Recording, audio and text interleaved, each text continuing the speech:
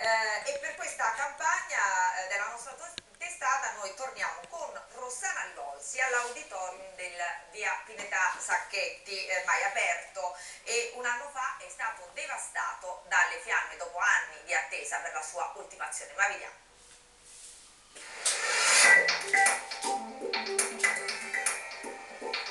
Le fiamme lo hanno divorato per 36 ore consecutive, un anno fa. L'Auditorio Pineta Sacchetti è un'incompiuta permanente, 13 anni per realizzarla, un cantiere eterno che ha inghiottito 5 milioni di euro di pubbliche risorse, l'Europa per imperizia, proprio alla vigilia dell'inizio attività.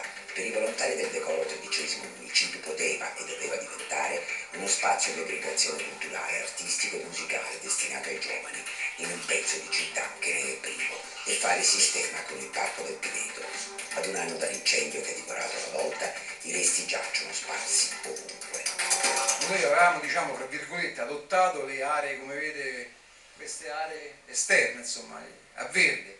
Avevamo ripulito, avevamo fatto delle piantumazioni e ovviamente adesso, essendoci il divieto di accesso, eh, non possiamo più entrare e prenderci cura di queste piante. Il giardino ha smesso di essere tale, erbacce e rifiuti avanzano tra i crolli della struttura incendiata, sporcizie ovunque, le piante languono, i tossicodipendenti di zona hanno ricavato anche. Un anno fa l'incendio e l'anno trascorso invano, adesso è il confronto tra periti per i danni.